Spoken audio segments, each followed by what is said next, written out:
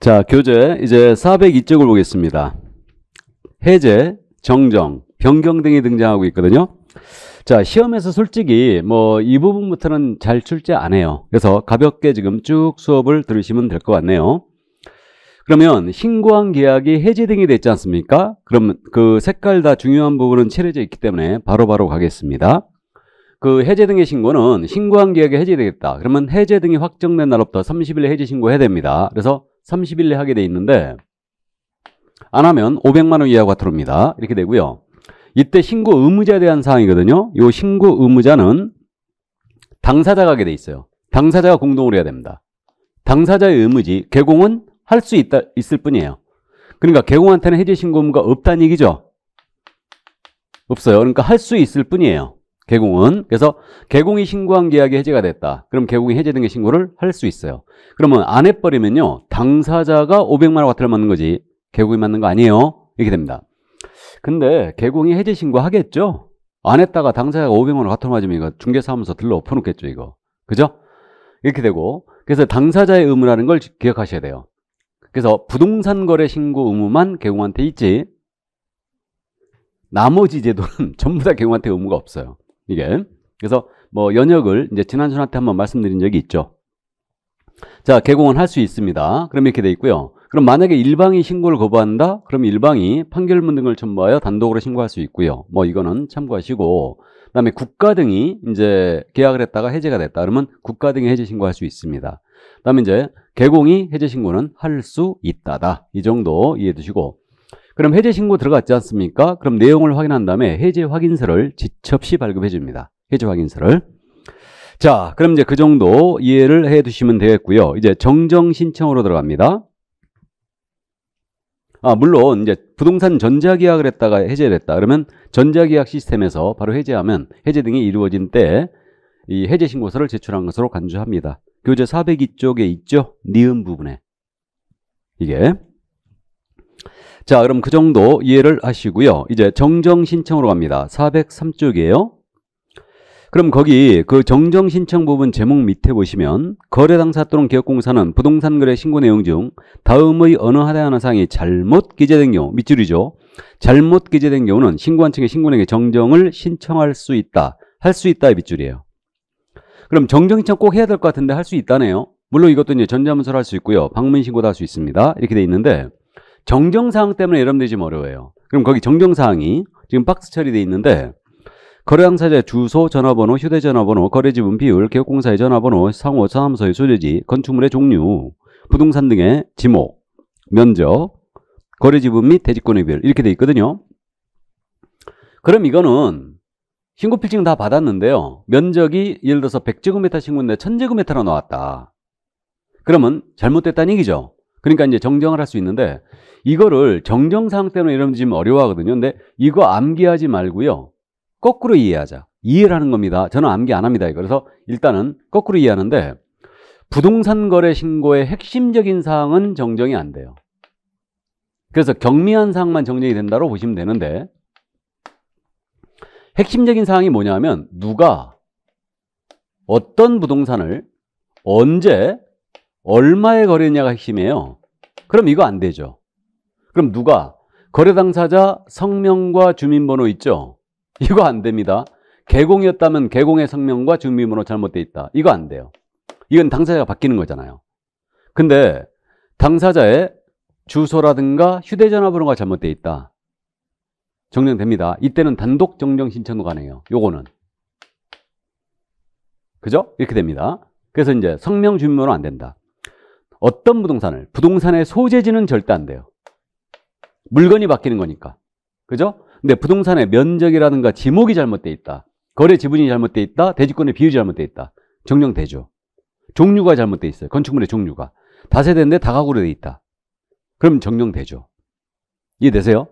그 다음에 또 언제? 계약일 절대 안 됩니다. 계약일은 체결일로부터 30일 내에 신고해야 되기 때문에 변경, 정정 다 안 돼요. 그래서 계약일 안 되고 얼마에? 실제 거래 금액은 절대 안 되죠. 그래서 안 되는 것들로 기억하세요. 핵심적인 사항은 안 된다. 성명, 주민번호, 소재지, 그 다음에 계약일, 실제 금액 이런 것들은 안 됩니다. 이해됐어요? 그러면 정정 신청은요 서식이 없어요. 신고필증에 직접 수정하여 서명 또는 날인으로 제출할 수 있다 그랬어요. 그래서 이렇게 돼 있고 그 다음에 이제 요거 단독 정령 신청 당사자의 주소라든가 휴대전화번호가 잘못돼 있다. 단독 정령 신청하는데 이 경우는 전자신고 안 받아줍니다. 이렇게 돼 있고요. 내용을 확인한 다음에 지첩 시 신고 필증을 재발급해 줘요. 됐습니까? 이렇게 이해를 해두시고 자 이제 변경 신고예요. 그럼 변경은 자 거기 동그라미 1번을 잠깐 읽어드리면 거래당사 또는 개업공사는 부동산 거래 신고 내용 중 다음의 어느 하나에 해당하는 사항이 변경된 경우는 밑줄 변경된 경우 밑줄입니다. 부동산 등기법에 따른 부동산원 등기 신청 전에 신고한 층의 신고 내용의 변경을 신고할 수 있다. 변경을 신고할 수 있다 밑줄이에요. 그럼 이것도 할 수 있다로 돼 있네요. 해야 될 것 같은데. 근데 이게 변경 신고 사항은요. 요거 암기하지 말고 역시 이해하는데 이 제도가 왜 들어왔느냐? 원래 정정만 있었거든요. 이것 때문에 들어왔어요. 예를 들어서 4월 30일을 잔금일로 신고했거든요. 그 다음에 실제 거래 가격은 어 10억이라고 신고했어요. 근데 매도 쪽에서 돈이 급히 필요했습니다. 그래고 4월 15일 날 잔금을 쳐주면 내가 대금에 천만 원을 깎아줄게 이런 거예요. 그래가지고 매수 쪽에서 4월 15일 날 잔금을 쳐버린 겁니다. 그럼 신고한 사항 중에 잔금일 바뀌었죠? 가격도 바뀌었죠? 재신고를 해야 되는 사태가 자꾸 벌어지는 거예요. 그래가지고 간단하게 실무적으로 운영을 해보니까 이런 문제가 생기니까 변경신고제를 도입했죠. 그래서 변경신고사항에 핵심적인 사항으로 들어가는데 잔금일과 실제 거래가의 변경신고가 된다는 거예요. 그걸 주의해야 됩니다. 그래서 그 교재 403쪽에 지금 박스 처리된 것 중에 미음 있죠, 미음. 거래 가격. 밑줄.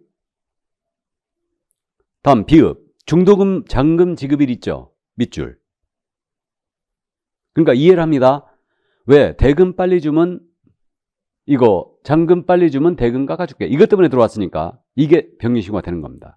더 특이한 게 그 밑에 공동 매수의 경우 일부 매수인의 변경돼요. 일부 매수인의 변경 밑줄. 매수인 중 일부가 제외되는 경우만 해당한다. 제외되는 경우만 밑줄 긋고. 다음에 또 이응. 거래상 부동산 등의 다수인 경우 일부 부동산 등의 변경. 밑줄. 일부 부동산 등의 변경. 밑줄 긋고. 거래상 부동산 등의 일부가 제외되는 경우만 해당. 제외되는 경우 밑줄. 자, 그럼 이거 아주 핵심적인 사항 같은데 매수인의 변경, 부동산 등의 변경되네요. 그럼 이 얘기죠. A로부터 갑을병이 공동 매수했어요. 그리고 집은 3분의 1, 3분의 1, 3분의 1 신고했거든요. 근데 여기에 정을 추가하는 거예요. 안 된다는 얘기죠. 그다음에 병을 정으로 교체합니다. 이것도 안 돼요. 추가 교체는 안 돼요. 뭐만 안 된다? 빼는 것만 되는 거예요. 빼는 것만. 그러면 갑을 병에 단독 매수를 하거나 갑을의 공동 매수, 갑병의 공동 매수, 을병의 공동 매수를 하는 겁니다. 그러니까 매수인 중 일부를 제외시키는 것만 된다. 그럼 매수인을 제외시키면 지분이 바뀌지 않겠어요? 지분이 바뀌죠. 그러니까 지분의 변경이 신고되는 거죠. 이해되시죠?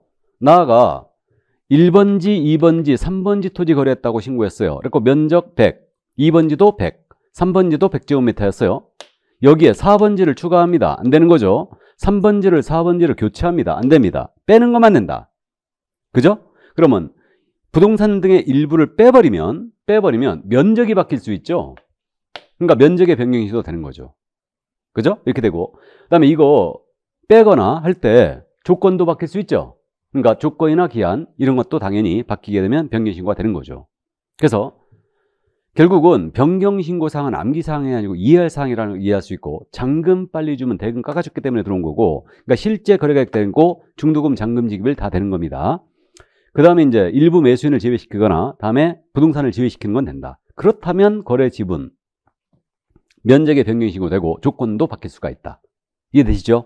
그래서 이렇게 이해하시고 그러면 이제 변경 신고는요 등기 신청 전까지 해야 되죠. 왜 그러냐면 실제 금액이 등기가 돼버리니까 그죠? 이렇게 되고 그 다음에 부동산 거래계약 변경 신고서가 있어요. 이걸 이제 제출하는데 이때 면적의 변경이 없이 금액만 변경했다고 신고 들어갔어요. 허위 신고 가능성 있죠. 그러니까 이때는 전자신고를 할 수가 없습니다. 그래서 어, 계약사부를 첨부해야 되고 그때는 전자신고를 안 받아줘요. 전자문서라는 거 안 받아줍니다. 이렇게 되고요. 공급계약 전매계약 있잖아요. 이때는 이제 분양가라든가 옵션이 바뀔 수 있죠. 전매할 때. 그러면 이때는 그 단독으로 이제 정정 신청 가능합니다. 물론 증명서를 첨부해야 되고요. 그럼 내용을 확인한 다음에 신고 필증을 지첩 시 재발급해 줍니다. 이거는 이렇게 돼요. 그럼 처음부터 잘못되면 정정이고 나중에 계약 내용이 당사자 일부로 바뀌잖아요. 합의로. 그럼 이게 변경 신고죠. 그래서 눈치를 채셨는지 모르겠는데 눈치가 빠르신 분은 면적하고 거래 지분 같은 거 있죠. 이런 것들은 정정에도 있고 변경 신고 사항에도 있어요. 그럼 이 얘기네요. 면적이 처음부터 잘못되면 뭐예요? 정정 시청이에요. 면적이 변경되면 변경 신고죠. 지분이 잘못돼 있으면 정정이에요. 지분이 변경되면 변경 신고입니다. 감 잡았죠? 그래서 이렇게 이해해 두시고요. 자, 그러면 정정 변경 제도를 봤습니다. 자, 그러면 넘어가면 넘어갑니다. 금지행위 및 사무관리가 나오겠어요. 405쪽에 금지행위. 그러니까 부동산 거래 신고법에서도 금지행위가 있거든요. 이거는 제재와 연결되기 때문에 그냥 가볍게 제재를 말씀드리고 넘어가는데 먼저 부동산 거래 신고를 하지 않으라 거짓된 내용으로 신고하도록 요구했다. 거짓 신고 요구했다. 요구한 자 500만 원 이하의 과태료예요. 500만 원 이하가 들어오고 그 다음에 어, 신고문자가 아닌 자가 거짓 신고했잖아요. 그러면 신고문자가 아닌 자가 거짓 신고했다. 이거 금지입니다. 그럼 이것도 이거는 취득가액의 100분의 5 이하의 과태료, 5% 이하의 과태료 이렇게 되는데 그럼 신고 의무자가 아닌 자가 거짓 신고할 일이 있느냐? 실무적으로 이걸 운영해 봤더니 이런 문제가 자꾸 생긴 거예요. 그래갖고 이제 이게 금지가 이게 들어온 건데 가불 간의 거래를 우리 개공 A께서 소개를 했어요. 실제 거래가 10억이었거든요. 근데 갑거리 합의한 거죠. 우리 9억에 하기로 했다. 그래갖고 다운을 요구합니다. 다운 계약 써달라고. 그럼 개공이요. 실무적으로 도장 안 찍어요. 그러면 써드리는데 도장 제가 안 찍습니다. 그런 겁니다. 그러면 보세요. 실질은 중개거래인데 형식은 지금 직거래로 돼 있죠. 그럼 이들은 신고 의무자가 아니잖아요. 이들이 9억에 신고 들어가는 거예요. 그러면 신고 의무자가 아닌 자가 거짓 신고하고 있잖아요. 이걸 처벌할 길이 없었죠. 그래갖고 이것을 처벌하고자 금지행위에 들어온 거예요. 그러니까 신고 의무자가 아닌 자가 거짓된 내용으로 신고하는 행위. 금지행위입니다. 이때는 취득가액의 100분의 5 이하의 과태료예요. 그러니까 신고 의무자든 아니든 거짓 신고했다. 그럼 무조건 5% 이하의 과태료입니다. 이렇게 되고 그 다음에 거짓 신고할 것을 조장하거나 방조하는 행위. 조장은 부추기고 방조는 모른 척하는 게 아니에요. 도와주는 거라고 그랬죠. 안에서 도둑질하고 있는데 밖에서 막 맞주는 자. 이 자가 방조예요. 그래서 어, 방조 이거 안 되죠. 개공이 여기 걸릴 가능성이 크죠. 그럼 조장 방조, 요구 조장 방조는 전부 다 500만 원 이하가 들어죠. 500과 이렇게 되고요. 그러니까 처음부터 거래 신고 안 해버리면 500이라고 그랬죠. 500만 원과 들어오고 했는데 거짓 신고하면 5% 이하예요. 그리고 요구 조장 방조도 500만 원 이하가 들어. 자, 그 다음에 이제 이 부분도 들어왔는데 신고 대상 계약을 체결하지 않았음에도 불구하고 거짓으로 부동산 거래 신고하는 게 이걸 저는 가장 계약 신고라고 합니다. 해서 그저 4번에 있잖아요. 거기 박스 안에 4번. 가로 열고 가장 계약 신고라고 메모하세요. 가장 계약 신고. 신고 대상 계약이 체결되지 않았음에도 불구하고 거래 신고하는 거죠. 이게 그거예요, 그러니까. 이 아파트 단지 32평이 실제 거래가가 10억이거든요. 시세가 10억인데 이걸 15억으로 끌어올려야 되겠어요. 그래갖고 여기 대표자가 와서 그러는 거죠. 우리가 매수인, 매도인, 인적상 다 주겠다. 물건도 주겠다. 그러니까 15억에 거래 신고 해달라는 거예요. 그럼 신고 대상 계약이 체결되지 않았음에도 불구하고 거짓으로 신고하고 있죠? 가장 계약 신고죠. 시세를 건드리고 있어요. 이때는 3천만 원 이하가 들어요. 그럼 거꾸로 5번은 그거죠. 해제가 안 됐음에도 불구하고 해제 신고해버리는 거예요. 그럼 이 얘기 아닙니까 이거? 10억에 신고된 게 있겠죠. 15억으로 끌어올려야 되겠어요? 이거 해제가 안 됐는데 해제 신고해달래요. 그래갖고 해제 등이 되지 않았음에도 불구하고 해제 신고했다. 이걸 저는 가장 해제 신고라고 부르고 있습니다. 거기 괄호 열고 가장 해제 신고라고 메모하세요. 가장 해제 신고.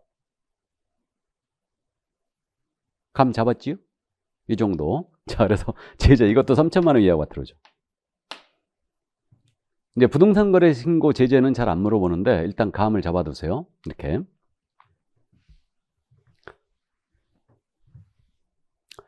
자, 그래서 신고 관련 금지 행위를 다 봤어요. 그럼 이제 넘어가실까요?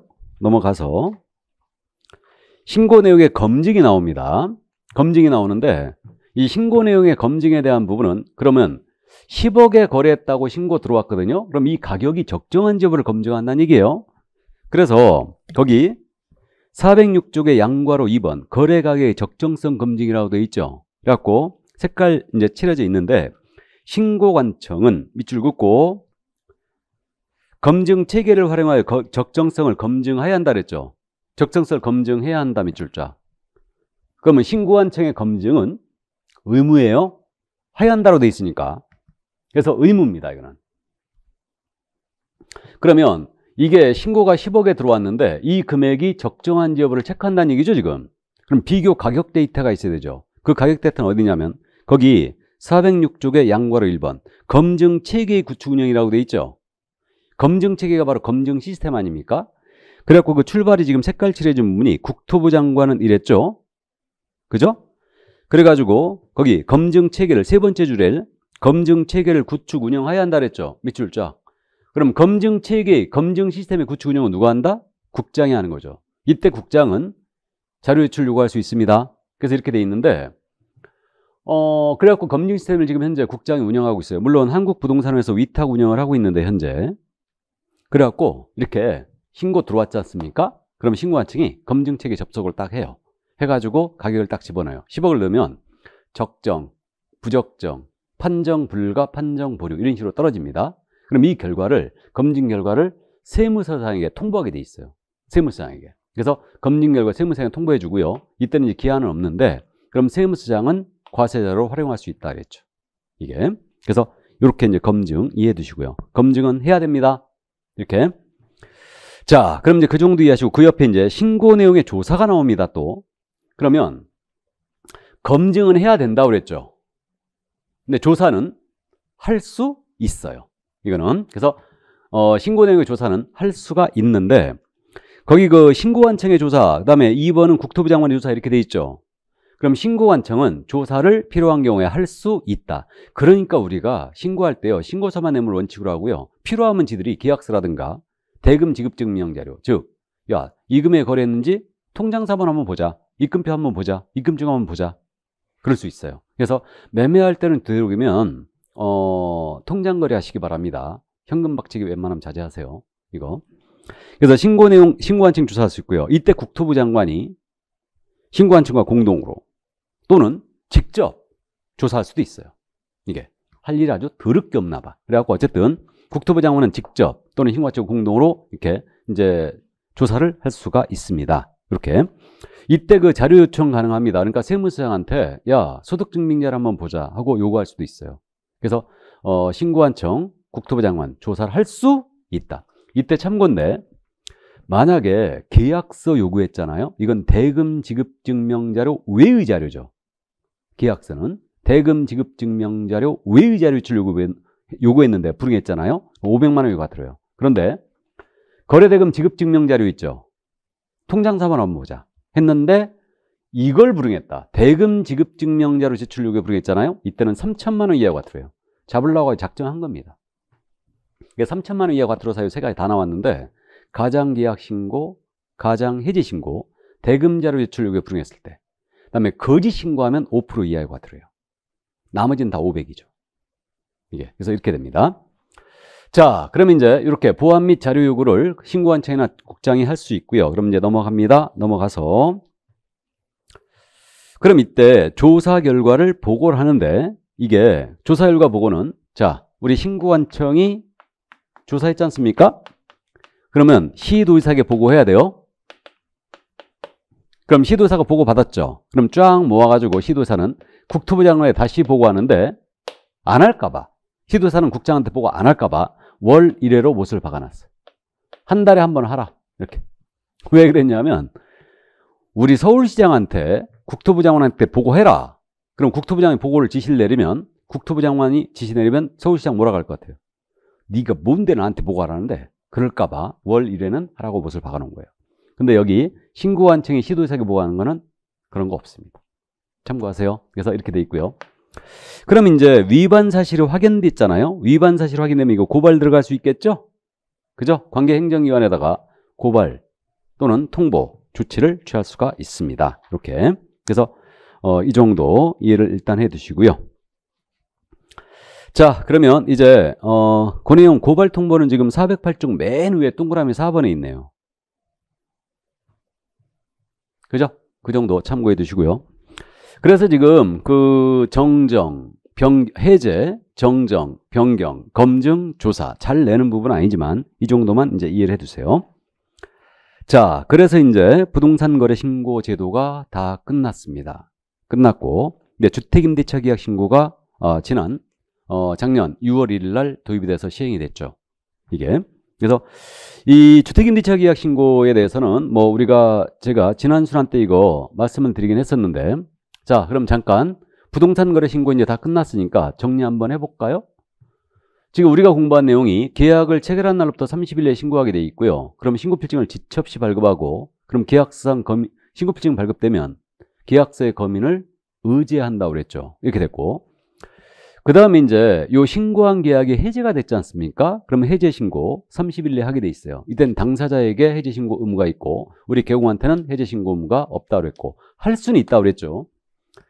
그 다음에 이제 정정 신청이 나왔죠. 해제 다음에. 그래서 잘못된 경우 할 수 있다고 그랬고 변경 신고, 변경된 경우 신고 다 제대로 됐고 신고필지 다 제대로 나왔는데 당사자별 계약 내용 일부가 바뀌었다. 그러면 해제 신고, 변경 신고 할 수 있답니다. 그 다음에 이제 이거와는 별도로 신고 필증 나갔어요. 검증을 이제 하는 겁니다. 신고한 층에 해야 된다 그랬어요. 이거 의무였죠. 의무였고. 그 다음에 이 검증 체계 구축 운영은 국토부 장관이 현재 하고 있다 그랬어요. 그래서 여기에 접속해서 이제 적정, 부적정 결과가 나왔다. 그럼 세무서장한테 통보해 준다 그랬죠. 이건 기한이 없다 그랬어요.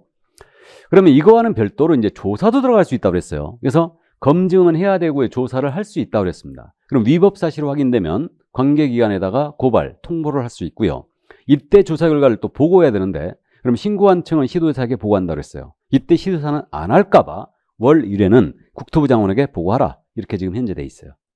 이게 부동산 거래 신고의 주요 절차였습니다. 이 정도. 그래서 지금 여러분들이 이 부분이 조금 어려워 하시는데 그 신고 대상 계약이 뭐냐. 이거 꼭 정리해야 되고요. 그 다음에 신고 기한, 신고 관할, 신고 한청 그러니까. 그 다음에 그 신고 사항들 정리를 해주시고요. 신고 의무자들 꼭 정리해 놔야 되죠. 신고 의무자 아주 잘 물으니까. 그다음 나머지 절차들은 이쪽에 있는 부분은 이제 자주 묻는 건 아니지만 이렇게 이제 이해해 두시고 꼭 기억할 게 신고서 작성 요령을 정리해 달라고 그랬죠. 감 잡았어요? 이 정도. 자, 그다음 이제 411쪽에 이제 주택 임대차 계약 신고가 나옵니다. 자, 이 부분 지금 작년에 도입됐기 때문에 올해도 출제할 걸 일단 예상을 하고 있는데 작년에 출제할 부분이 예상이 됐었죠. 그러면 주택임대차 계약 신고도 당연히 우리는 실무니까 어떤 계약을 했을 때 주택임대차 계약 신고하는데 신고 대상 계약 이게 문제가 되는 거고 당연히 신고 절차가 문제가 되는 거고 신고서 작성 요령이 있을 텐데 우리 개공한테는 주택임대차 신고 의무가 없거든요. 그러니까 신고 작성은 이제 무시해도 될 것 같아요. 그래서 일단 이렇게 이제 신고 대상 계약과 절차가 일단 문제가 되는데 그래서 작년에 신고 대상 계약을 이제 출제를 했죠 이거를 예상이 됐던 거였어요. 이게 가장 중요하거든요. 우린 실무니까 그죠?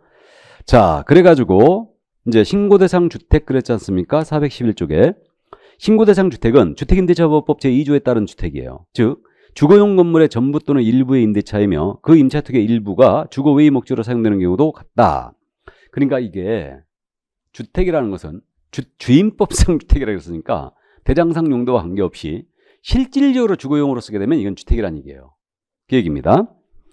그래가지고 지역별로 금액별로 이렇게 이제 나눠놨습니다. 그러면 일단 지역은 어디 있는 주택이었냐 이 문제인데 거기 이제 2번에 있어요. 동그라미 2번에 주택임대차 계약 신고 지역은 특별자치시, 특별자치도, 시, 군. 근데 군은 광역시 및 경기도의 관할 구역에 있는 군으로 한정한다 그랬어요. 이때 구, 자치구를 말한다.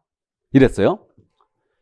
이게 생각보다 지금 복잡하게 돼 있는데 간단하죠, 뭐.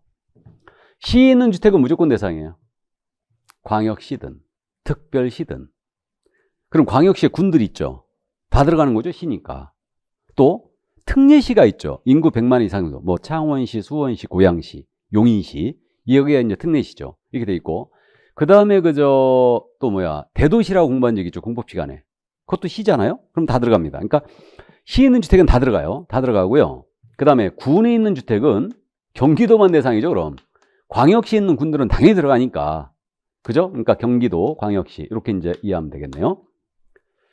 그리고 이제 금액 기준은 동그라미 1번에 있는데 보증금이 6천만 원을 초과하거나 자 하거나의 동그라미에요.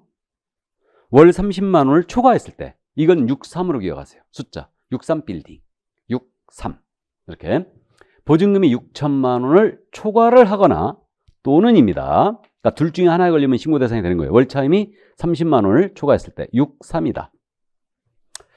갱신계약 포함이고요. 다만 이제 갱신할 때 기간만 연장했다. 금액이 변경이 없이. 그때는 이제 재신고할 필요는 없습니다. 그래서 이 정도 일하시는데 그래서 시군에 있는 주택으로서 6천만 원 추가하거나 30만 원 추가했을 때 그럼 이렇게 되죠. 대구광역시 달성군에 있다. 요즘 달성군이 뉴스에서 자주 나오고 있죠. 우리 박 전 대통령이 여기 이제 어, 퉁기를 틀었기 때문에 그러죠. 지금 그래서 달성군인데 여기 주택으로서 보증금액이 3천이었어요. 월세가 40만 원 있었습니다. 신고해야 되죠?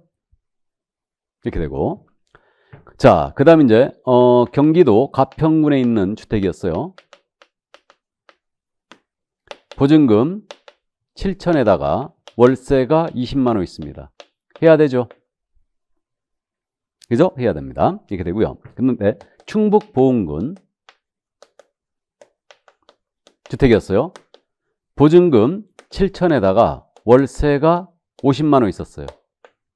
대상이 아니죠. 경기도 광역시에 있는 군만 대상이니까. 이해되세요? 자, 이렇게 되고 그 다음에 창원시에 있는 주택이었죠. 창원시로서 보증금 2천에다가 월세가 예를 들어서 어, 30만 원이 있었다. 대상이다 아니다. 아니죠 이거는. 지금 30만 원에 딱 걸렸죠. 30만 원 초과해야 돼요. 보증금은 6천만 원 초과해야 되고요. 그래서 이건 아닙니다. 근데 만약에 이게 40만 원이 됐다면 대상이 되는 거죠? 창원시니까. 이해되시죠? 그러니까 이렇게 됩니다. 자, 그래서 이 정도 이해해 두시고요. 신고 대상이냐 아니냐 이거 확실히 기억을 해 두시고요.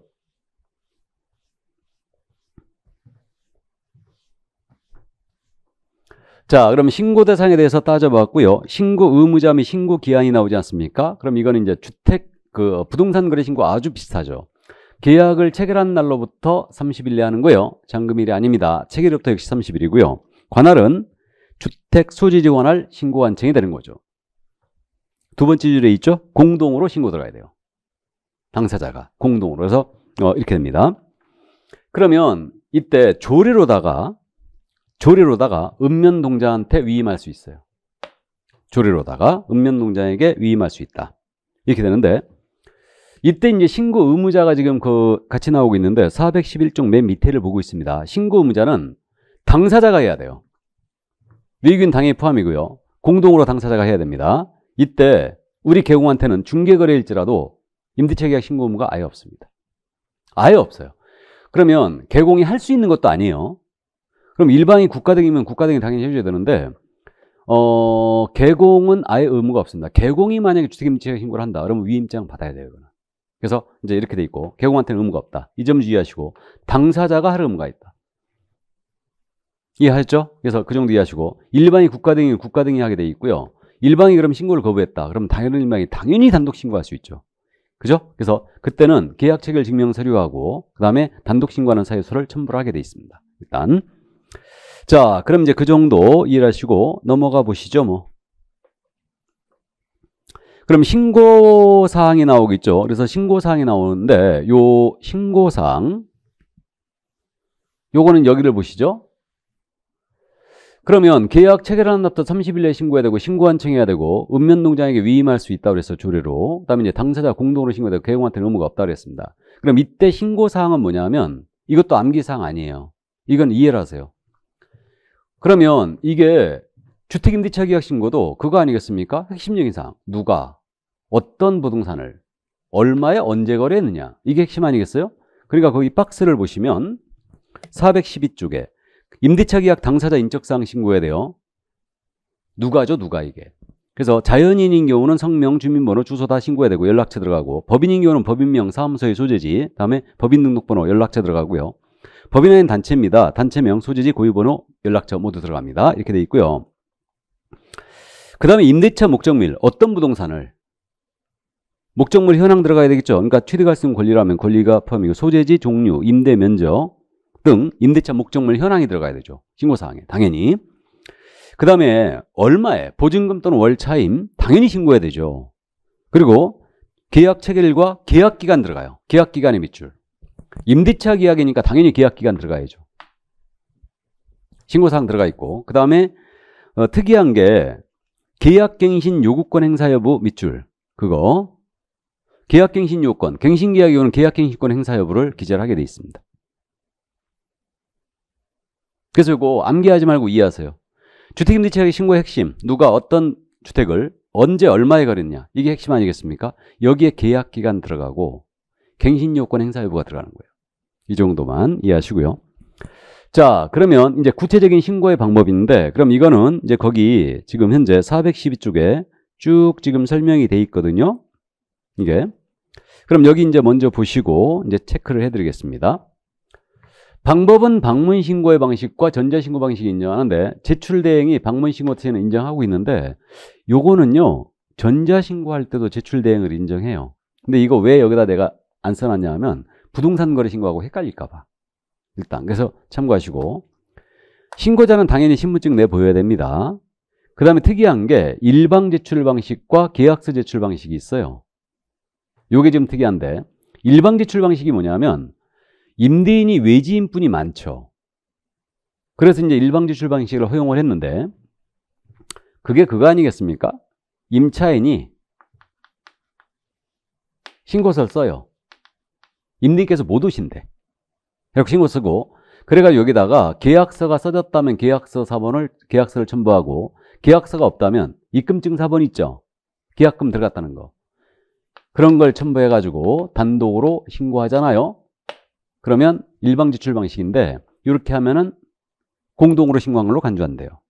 그 다음에 계약서 제출 방식을 인정하고 있는데 이것도 있잖아요. 원래 부동산 거래 신고에도 계약서 제출 방식이 있어요. 있었어요. 원래. 근데 삭제해버렸죠, 이게. 왜 삭제했냐면, 지난 순환 때 이거 제가 언급을 했었는데, 부동산 거래 신고제가 도입되고 나서요, 운영을 해봤더니, 그때 계약서 제출 방식이 있었거든요.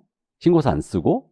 그랬었는데, 이걸 폐지한 이유가 부동산 거래 신고는 그랬었어요. 그러니까, 우리 담당 공무원께서 6시에 퇴근해야 된다고 그랬죠? 근데 그때 법무사들이 대행을 많이 했어요. 그래갖고, 법무사들이 신고서 쓰기 싫으니까, 어차피 법무사는 이전 늦게 해야 되니까 신고필증이 있어야 되거든요. 그래갖고, 계약서를 쫙 모아.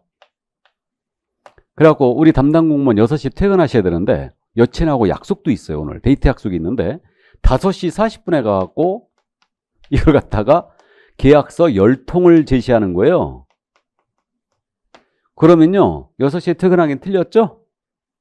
여친한테 잘못하면 체이게 생겼습니다 그래갖고 결국은 아주 이거 원본 제출 방식 이거 삭제하자 라고 삭제했습니다. 그때. 그래갖고 그때 처리 기한이 또 즉시였거든요. 근데 지금은 지체 없이죠.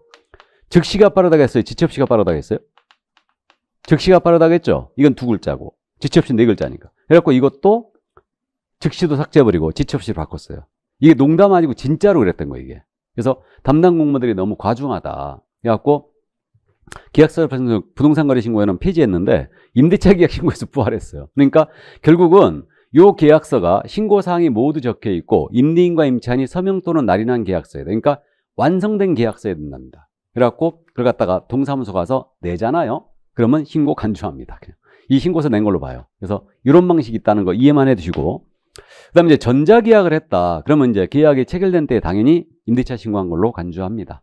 이거는 전자계약을 하면 자 그래서 이제 구체적으로 이렇게 이제 요 신고 방법을 한번 따져봤는데 요거를 지금 나열하면 이렇게 돼요. 방문 신고와 전자 신고 방식 인정하고 있고요. 신고서에 당사자가 공동으로 서명 또는 나라 남에 제출하고요.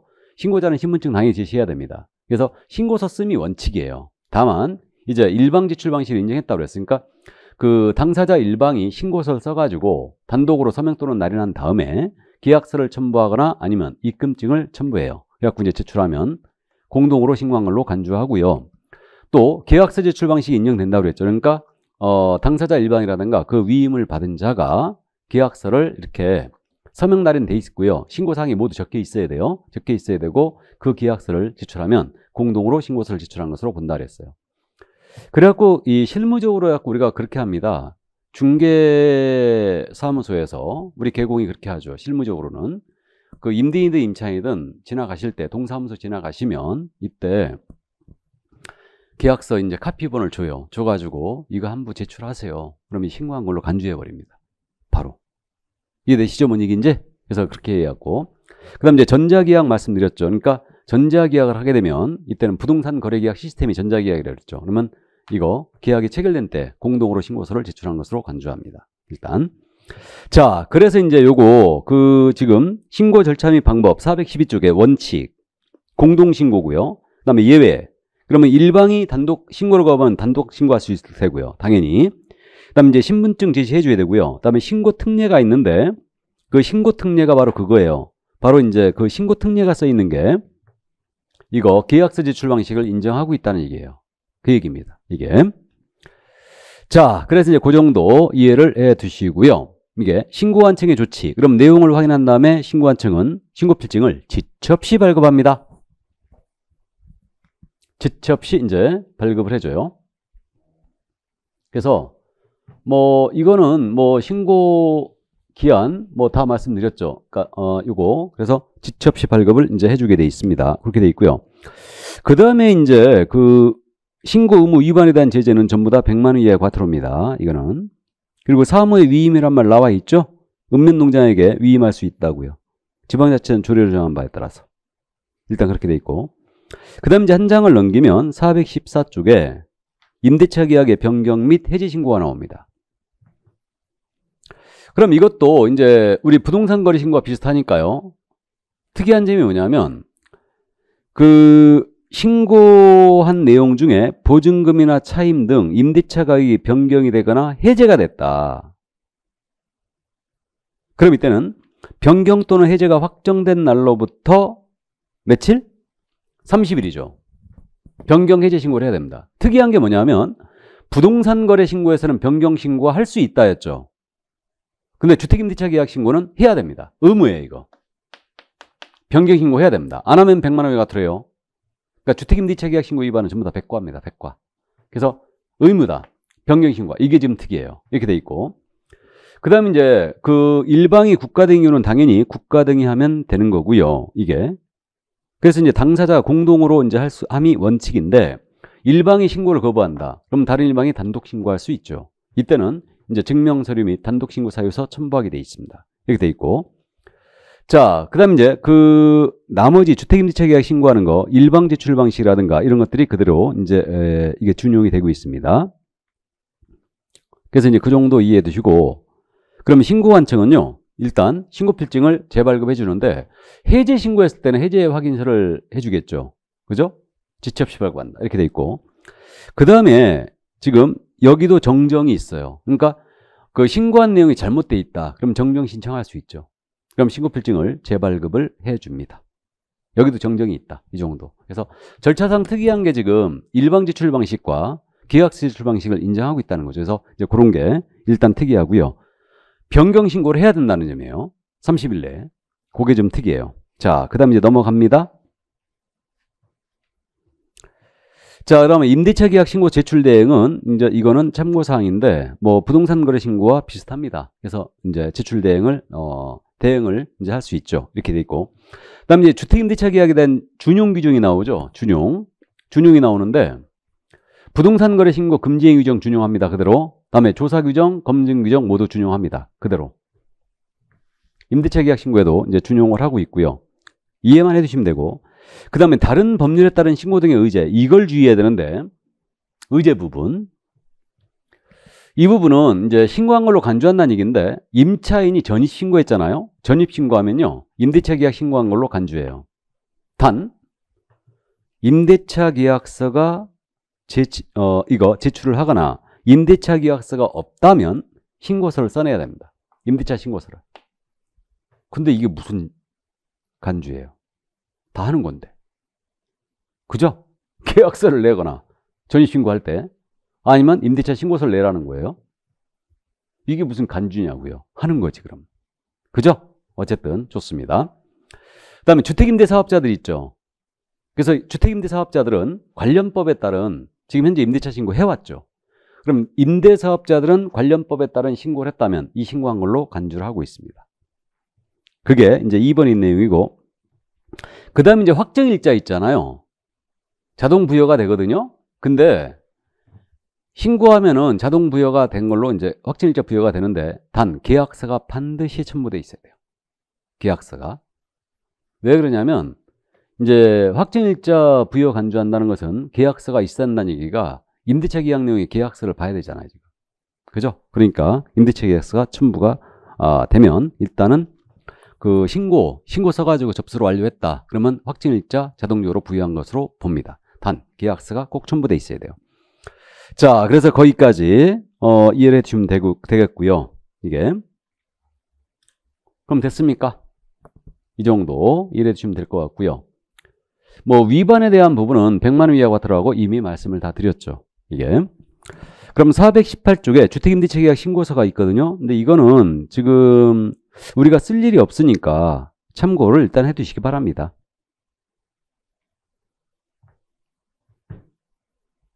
참고해 두시고 그 다음에 그 420쪽에 주택임대차 계약 신고 필증이 있죠. 우측 상단에 그 확정일자 지금 제 메토라고 돼 있죠. 찾았어요? 그래갖고 그 서식 자체에 확정일자 이거 번호가 일단 들어가고 있네요. 신고 필증에. 그죠? 그래서 이 정도 이제 봐두시기 바랍니다. 자, 그래서 임대차 계약 신고까지 다 살펴봤어요.